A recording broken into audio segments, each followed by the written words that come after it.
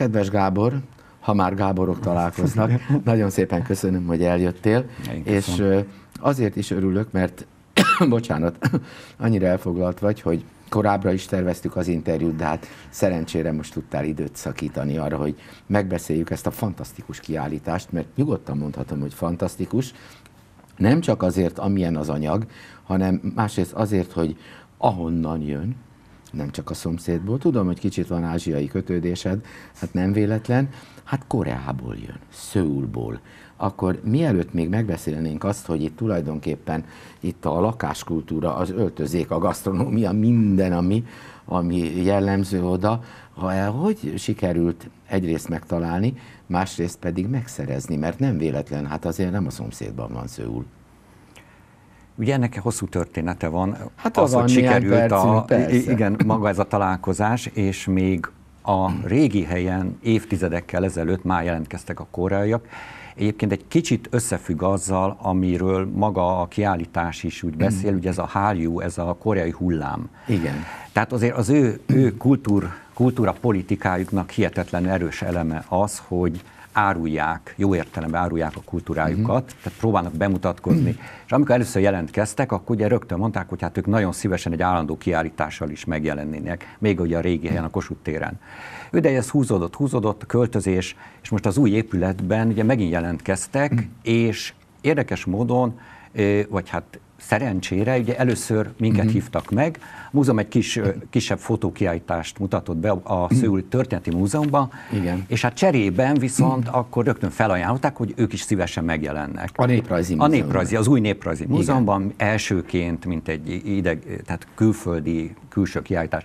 És ugye összeültünk, elkezdtünk gondolkozni, és ugye többen mondták, hogy hát kalap, Korea kalap, hagyományos, tehát ugye rögtön, rögtön ugye meg lehetett fogni, hogy mi az, ami ilyen feltűnő. És jó, de hát ez egy kicsit szűk, akkor hát viselet, az, az, azzal nem lehet veszíteni, az nyilván izgalmas valamit mutat is, és előtte ők azért úgy, úgy ajángattak kész kiállításokat, de hát végig abban maradtunk, hogy ez egy teljesen új válogatás lesz. Uh-huh. Tehát összeültek, dolgoztak rajta, és összeraktak egy teljesen új, a mindkét fél számára izgalmasnak tűnő kiállítást, ugye, ami egyszerre mutatja be a hagyományt, Szőult, tehát hogy lehet egy várost jellemezni. Igen. Ez valószínűleg ez volt így számunkra az egyik ilyen izgalmas dolog.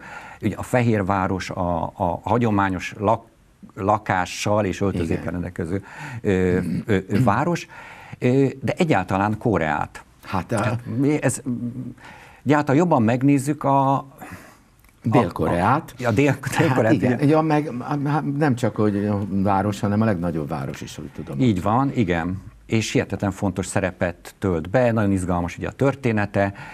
De Főleg meg... a 88-as olimpián, akkor nagyon-nagyon megismerte a világ, és nagyon meg voltak vele elégedve, igen. Igen, és hát számukra is az egy ilyen ugrópont volt ahhoz, hogy uh-huh. aztán ugye ezt a koreai hullámot elindítsák, amivel tulajdonképpen ők aztán világhíressé váltak. Hát na, na. Na most, ha már mondod, hogy a viselet meg mindenféle, akkor ez viccesen hangzik, de valahol olvastam, hogy a kalapok városának is hívják. Miért?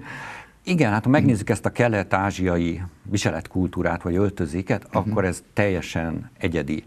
Nyilván van ennek egy kínai eredete, vagy története, de ahogy ők ezt átvették, kialakították, eh, hordják azt, tehát megnézzük a Japán, de Japánban nincs kalap igazából. Jó, van, de ugye az teljesen praktikus. Igen. Ugye itt viszont minden egyes részletnek óriási szerepe van, eh, jelzi azt, hogy ki férfi, nő, uh-huh. gazdag, tanult, harcos, nem. Tehát, hogy, hogy ez, ez egy teljesen, ilyen szempontból egy egyedi. Tehát, hogy ránéz az ember, és akkor rögtön tudja, hogy ott van.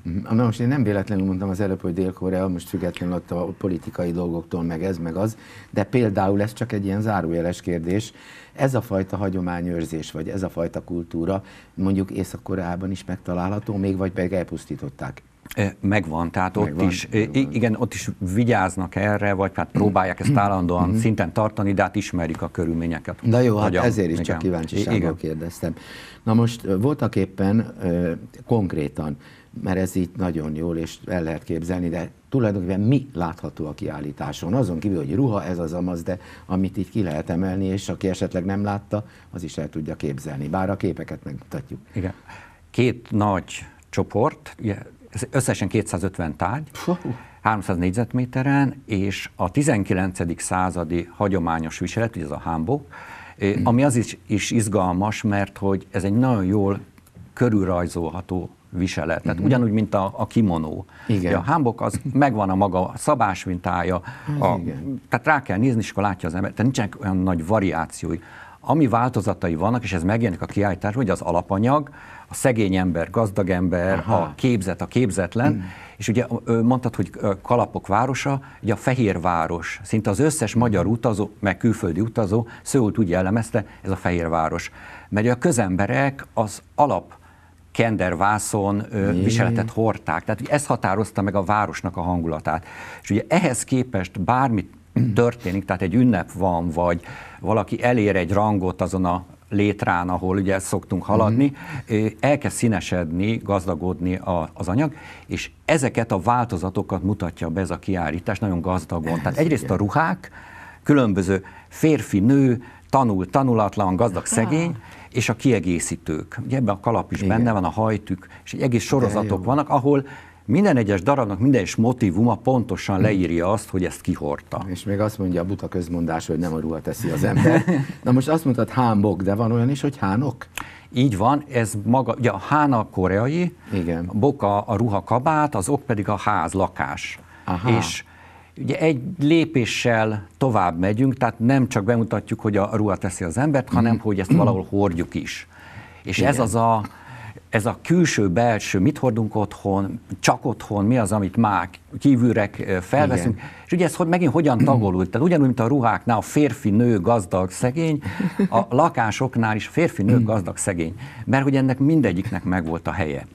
Na most az jutott eszembe, hát volt szerencsém látni, de tényleg, hát ha már itt Szőúról van szó, hát felhőkarcolók, szóval egy hatalmas nagy város, és legalábbis amit én láttam, hogy a, a felhőkarcolók és a modern építészet mellett még a palota is, a régi, mit tudom a királyi palota is megáll, és, és megvan, hát akkor tulajdonképpen, eh, hát te tudod jól, vagy te tudod sokkal jobban, akkor ezt a fajta hagyományőrzést, mert itt erről is szó van itt a ruháknál, lakásoknál, akár kalapoknál, de akkor ők ezt a, hogy mondjam, az építészetben, a, a, abban a kultúrában is ilyen nagyszerűen csinálják? Igen, ez is nagyon sajátosan koreai, megint csak ez a 19.-20. századnak a története itt nagyon fontos. Ugye egyrészt Szőul sokkal kisebb volt, mint ma, ez Jó, világos, és a, a palota környékén megmaradtak ilyen hagyományos Igen. épület, negyedek.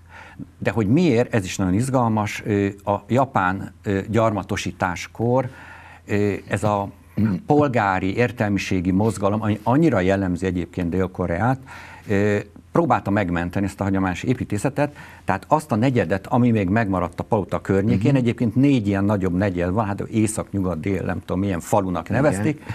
és elkezdték felvásárolni uh-huh. ezeket a házakat, hogy ne a japánok vegyék meg, mert Aha. akkor ki tudja, mi lesz.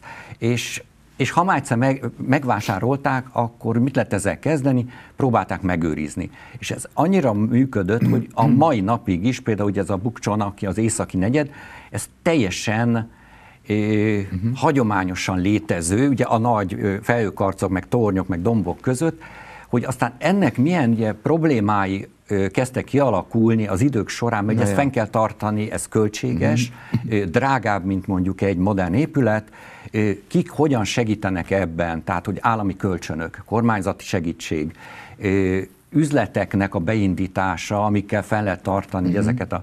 Hát, tehát ez megint egy olyan nagyon összetett háttér, ami segített ezen. Uh-huh. Ezért éppen ezért tulajdonképpen uh-huh. ezek egy, egy ilyen ablaka azért a 19. századra, Igen. ugye? Uh-huh. Már az előbb akartam kérdezni, hogy hogy meddig van nyitva a kiállítás, mert megszerezni ezt az anyagot gondolom nem csak két hétre kellett. Február 18-ig, oh, tehát hát 2024. február 18-ig direkt megnéztem. Jó, na hát akkor elcsünk szót rólad is, mert én az előbb már úgy egy fél mondat erejéig említettem, hogy ázsiai kötődés is van, de szereted az indián regényeket?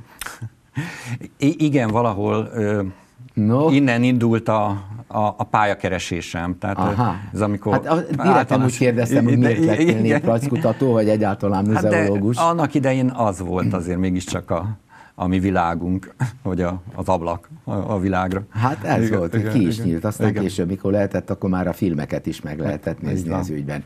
Na most emellé viszont nem, még egyet akartam az előbb mondani, hogy ha már itt a japánokat emlegetted ennyire, és a japán behatást, akkor én úgy tudom, hogy volt neked egy olyan bemutató vagy kiállításod, aminek az volt a címe, hogy teja és legyező. Igen. És én nekem emlékeim szerint ez valamelyik színházban volt, Igen. az Erkelben. Így van. Ez mi volt?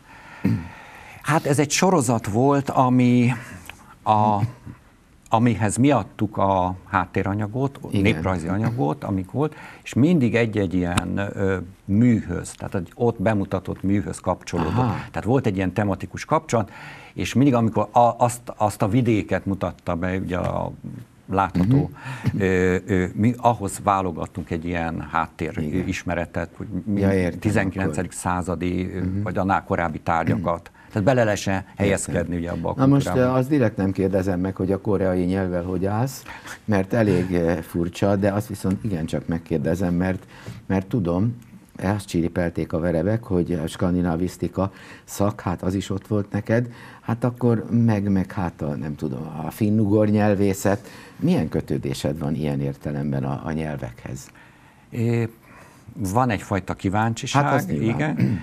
Nem vagyok igazán tehetséges nyelvekben, azért hozzá kell tennem. Tehát Olyan nincs, általában... mindenki meg tudja tanulni. Ki, ki bele, bele, később. De nem szeretek belekapni ezekbe. Egyébként a koreairól az elején lemondtam. tehát, hogy el is hiszem. A, a, tehát se idős energia, tehát ne, egy végtelen nehéz nyelv. Hát végtelen nehéz nyelv. De akkor a többi és a, a finnek, svédek, norvégok, dánok?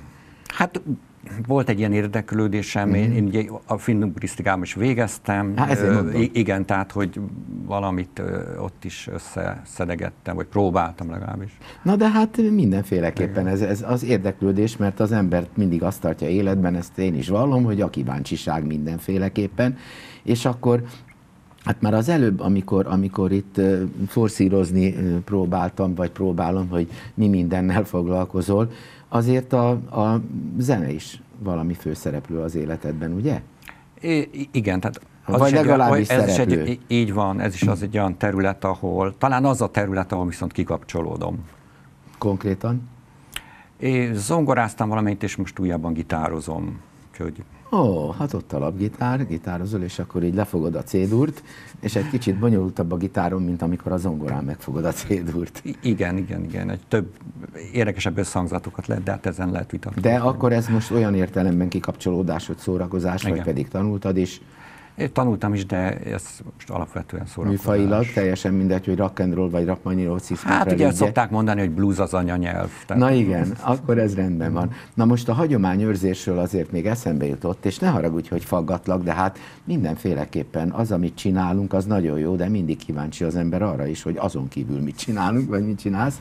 És a hagyományőrzésről jutott eszembe, hogy e, most mutatom, igaz ez?